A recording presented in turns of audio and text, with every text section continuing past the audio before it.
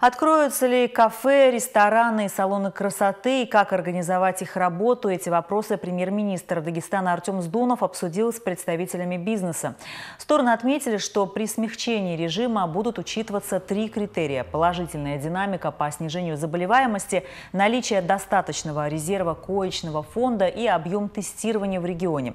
Бизнесмены теперь ждут окончательного решения главы республики, потому что каждый из них терпит большие убытки. Сегодня все ждут того, как бы побыстрее бы они смогли открыться. Естественно, только с, с теми условиями, что у нас пик, я надеюсь, что пройден у нас в республике, и это говорит и о меньшем количестве людей, которые находятся в больницах. Предприниматели подняли тему арендной платы в период ограничений и возмутились, что многие из них арендуют помещения и в итоге работают в убыток.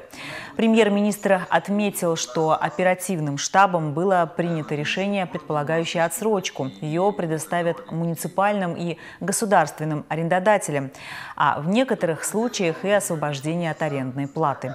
Мы на это выделяем государственные деньги, чтобы компенсировать затраты выпадающих доходов. Надо обратить на это внимание. В тех муниципалитетах, кто будет это отказываться делать, мы их просто будем воспитывать.